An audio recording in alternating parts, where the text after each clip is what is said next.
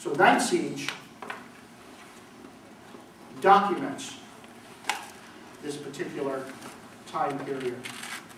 And not only was it seen in, the UFO was seen in the Hudson Valley, but it was also seen over in Connecticut. And uh, I've actually seen this UFO three times. And UFO researchers do not necessarily see the UFOs they're investigating.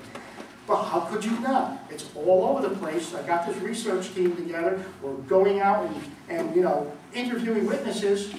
You would think that sooner or later we were going to collide with it. Yes, it happened.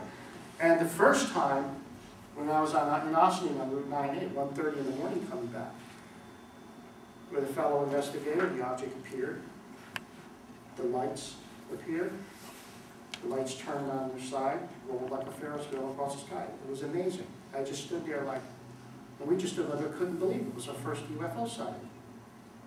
The second time I saw this is that was in prime time. I was actually doing a show on UFOs at the University of Bridgeport about these sightings in 1984.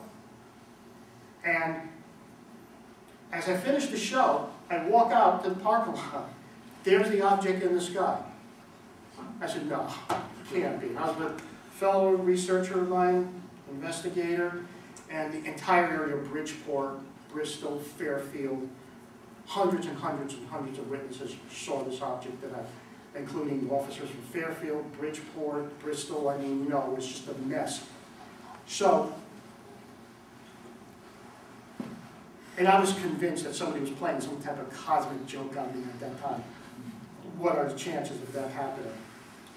The third time was in 1985, and um, we decided to go out and do some research.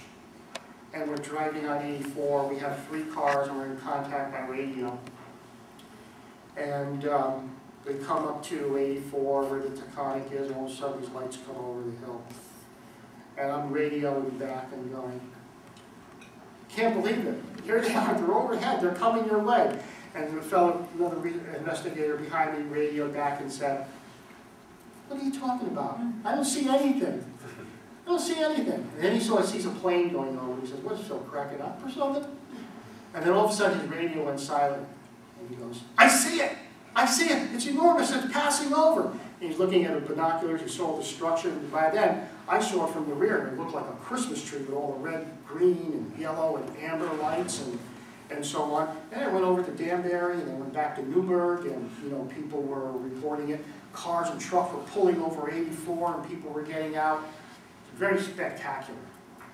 And one of the things I want to say is that this, there are many people involved with UFO research, and to them it's like a game. Okay? You read it, it's interesting, but you don't really think too much about it. It's not until you have an experience that you realize that this stuff is very real and the reality of the phenomena. Okay?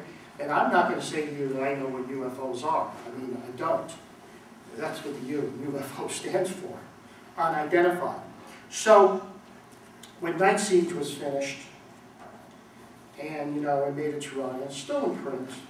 I mean, um, we had all of these cases that um, involved contact, that were kept out of the material at Dr. Hynek's request. Probably because it wouldn't fit in the book anyway, because these are all ordinary UFO sightings. So,